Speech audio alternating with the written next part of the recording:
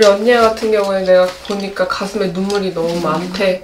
우리 언니도 어쨌든 인간의 고력도 있지만 언니 스스로도 내가 신의 풍파를 겪고 있다라고 생각하는 면도 있어. 왜? 누구를 만난다 한들 언니가 마음의 안정이 안 돼요. 누구를 만난다 한들 내 성에 안 차. 그래서 그냥 내가 이렇게 사는 게 그냥 마치 내가 죄를 짓고 사는 건가? 어.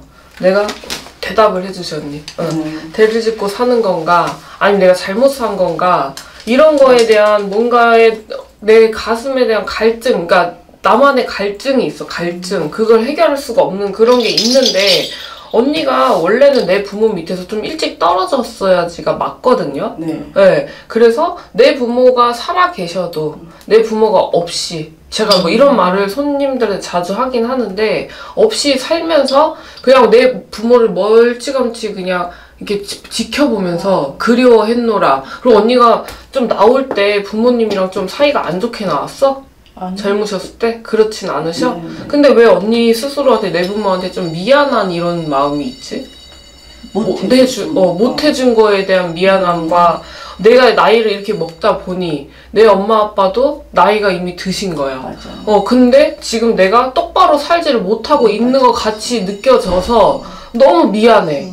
어, 그래서 차라리 내 엄마가, 아버지가 건강이라도 좋으시고, 조금 그래도 이 연세에 맞게 좀 평화롭게 사셨으면 너무 좋겠는데, 언니 눈에는 그게 아닌 게 보여. 집안에 좀 금전에 좀 고력이 있어 보이고, 나는 그래도 마- 나 혼자는 먹고 살았어. 그치? 근데 그렇게 보이지가 않으니 언니가 너무 마음으로 좀 미안한 마음도 있고 죄인도 있다라 그래 그런 제 의식도 그리고 언니는 솔직히 결혼을 일찍을 하셨으면은 두 번은 이혼을 하셨어야지가 맞아. 네. 응 이혼하셨어? 아니 결혼 그럼- 안 했어요. 아예 안 했어? 네. 어, 그거 알고 안 하신 거야?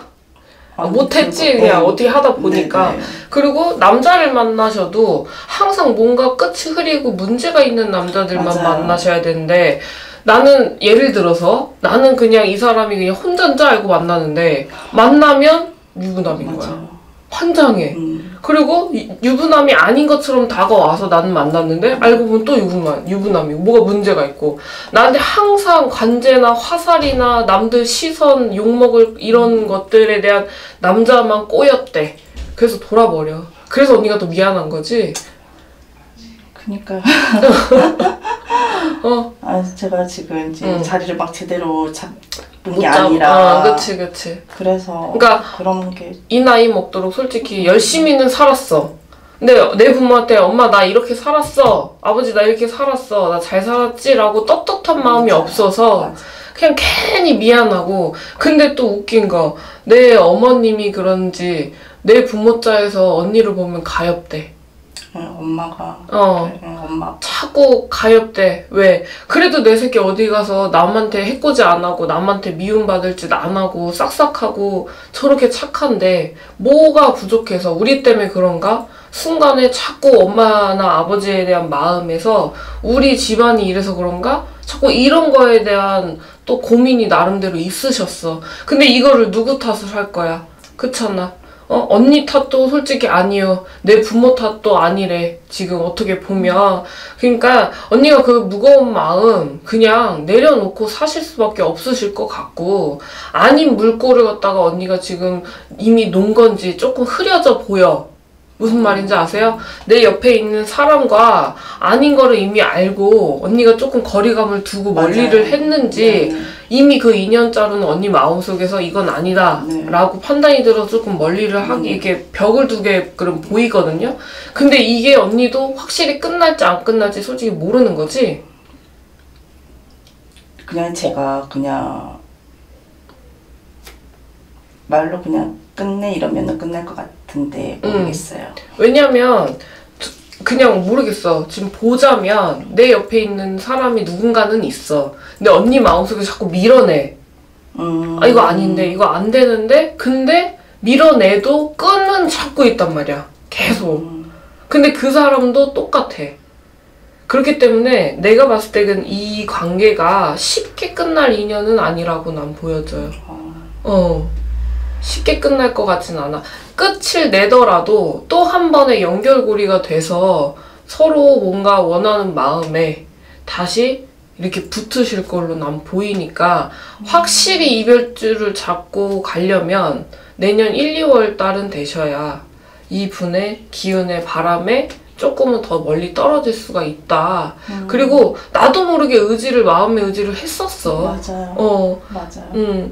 그래서 더 밑끈을 못 놓는 거야. 아닌 거 알아 머릿속은. 음. 그래서 그냥 모르겠어. 언니 지금 점을 보자면 그냥 내 부모한테 내가 떳떳하지 못해 미안하고 내가 지금 있는 현실에 난 만족이 안 되는데 이렇게밖에 살 수가 없으니까 언니도 답답한 거고 이 굴레에서 내가 언제 벗어날까 싶은 것도 있는데 내가 진짜 언제 내 남자를 만나서 행복하게 맞아. 한 번은 어, 한 번 진짜 진심으로 맞아. 편안하게 웃어볼까 음, 맞아. 그건데 45 되면 언니 어 앞으로 3년 지나잖아? 그러면 그때 가서는 내 남자가 들어와도 내 남자가 들어와. 그 전에 만나시는 남자들은요, 그냥 스치는 인연줄로다가 나한테 잠시 잠깐 와서 도와주는구나. 그냥, 어, 내 옆에 그냥 의지를 해주려고 잠시 잠깐 왔구나. 기댈 수 있는 곳을 해주려고 왔구나. 이렇게 생각을 하고 편히 가셔야지. 그렇지 않으시면 언니가 우, 우울증, 이미 우울증 걸렸거든? 언니? 그런 것 같아요. 응, 막 혼자 기복이 있고 막 응, 맞아요. 화딱증이 나고 막 응. 머리가 아프고 막 이래. 근데 이미 그거는 오랜 세월 전부터 20대 중반부터 언니가 그 우울증을 음. 겪었어. 그냥 뭔가에 모르는데 아까 처음에 이제 갈증, 나만의 갈증, 뭐 물을 마셔도 이게 개운치가 않는 갈증, 그거에 그런 게 있으니까 언니 3년만 그냥 가슴속으로 눈물 흘리고 참아라. 음. 어떡해? 없어.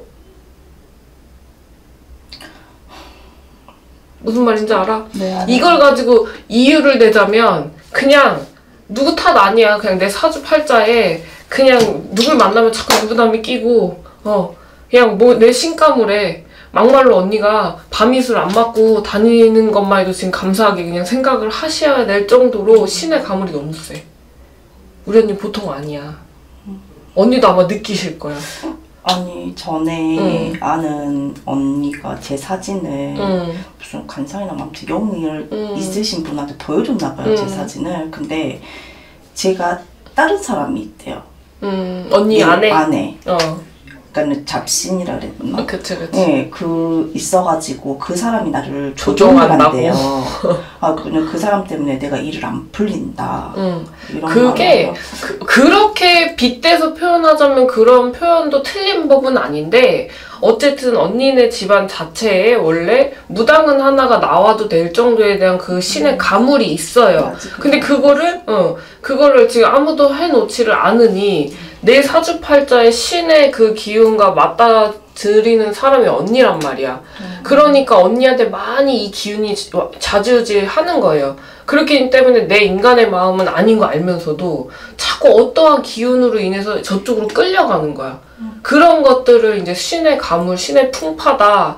어, 왜? 내 의지와 상관없는 내 기운에 맞춰서 오는 이런 현상들이고 상황들이니까. 그렇기 때문에 이런 분들은 솔직히 많이 빌고 살아야 돼, 언니. 어, 우리 같은 무당들 찾아서 그 집에다가 언니 이름 석자 올려놓고 많이 빌고 내 신의 감을 좀 재워주세요. 풍파 좀 재워주세요 하고 많이 빌고 살았어요. 내 언니가 오래 돼야, 오래, 그러니까 오래 들어서야 이게 생각이 뭔가 정리가 되면서 내가 조금 판단을 할 수 있게 됐지 2, 3년, 근 20, 2, 3년 정도는 언니가 막, 어. 미친년처럼 네, 살았어. 맞아요, 맞아요. 막 회오리 쳐. 근데 답이 없어. 음, 근데 뭔가는 자꾸 느낌이 오는 거 내가 돌아버리겠는데 답이 없어서 언니가 이거를 쇼그를 못 치고 아 남자 때문인가? 라고 하고 남자를 미- 멀리도 해보고 또 그렇게 생각을 하다 보면 부모한테 미안하고 막 뭔가 떳떳하지 않고 이런 거에 지금 판단이 올해 들어서 2, 3월 달부터 언니가 아 이게 이거구나 내 이래서 이렇게 힘들었구나 판단이 들기 시작을 했다고 무슨 말인지 아시죠? 네. 근데 어쨌든 풍파 2, 3년 풍파 잘 겪고 왔어. 그나마도 나쁜 생각 안 하고 언니가 잘 넘어왔으니까 지금부터라도 2, 3년 동안 조금만 더 언니 견뎌. 어, 그냥 오는 인연줄 굳이 마다할 필요도 없지만 그렇다고 해서 아닌 거 끝까지 부여잡고 갈 필요도 없고 그냥 흐르는 대로 가야지 언니가 지금 뭔가 빨리 결단력을 내리려고 마음을 성급히 먹잖아? 그럼 언니 우울증에 더 미쳐. 왜? 지금 아무것도 해결될 수 있는 게 없어. 그쵸? 맞아요. 어, 없어. 해결책도 없고 방법도 없고 맞아. 뭔가 이걸 버리고 자시고 할 일이 이게 없어. 그냥 나 혼자 속에서 미치는 거야. 맞아. 응. 맞아. 그렇기 때문에 그것만 그렇게 알고 가시고 우리 언니는 필히 한번 내 집안의 신명과 내 조상을 한번 풀어서 빌고 정성을 들이고 가야 언니가 조금은 내 정신줄 잡고 갈 일이 있을 거야 분명히. 이거는. 언니가 요번에 엄청 많이 느꼈을 거야 그거를 2, 3년 동안. 그 전에는 무시하고 살다가. 아, 왜? 젊었으니까 나도 젊으니까. 근데 이제는 앞자리가 바뀌고 내가 올해 들어서 아 이거 이렇게는 안 되겠다 라는 순간에 겁을 먹었어 언니가.